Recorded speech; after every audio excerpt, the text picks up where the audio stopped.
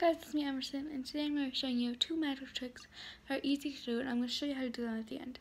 Make sure you subscribe and turn on my post notifications so you can be the first one to see my video. Comment down below when you're done, and for a chance to win a shout out in my next video. One is the paper clip and the cup. So, I'm just going to get this paper clip into this cup without like putting it in the top where you can actually get it. So, ready? One, Got it in my hand. One, two, three. The next magic trick is this. I have an empty tube, just empty, paperclip holding it together because I couldn't find any tape. Ready? One, two, three. So the first magic trick, what you need for it is a transparent cup with a not transparent bottom and two of the same color paper clips. I don't know if you caught on to it, but what you're going to do is take this paper clip, one of them, and hold it kind of like this and put your hand over it. But you want to do that inside the cup. Shoot.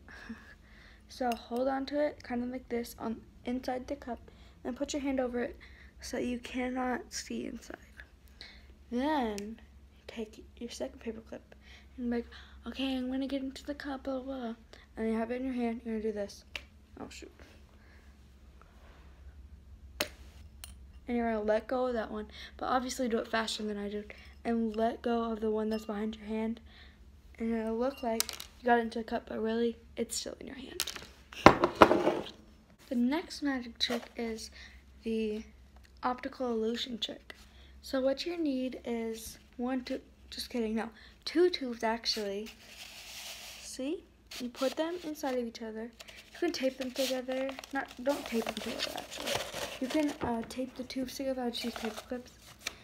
And what you're gonna do, so it looks on this end, it looks like one tube. You flip it over, it's two tubes, and you put whatever you're gonna pull out inside. And you'll be like, okay, and pull it out. So what you need is two pieces of paper, a few paper clips, and something to pull out. That's all the magic tricks I have for you today. Um, make sure you do what I said in the beginning, and I'll give you a shout out in my next video. Bye, guys!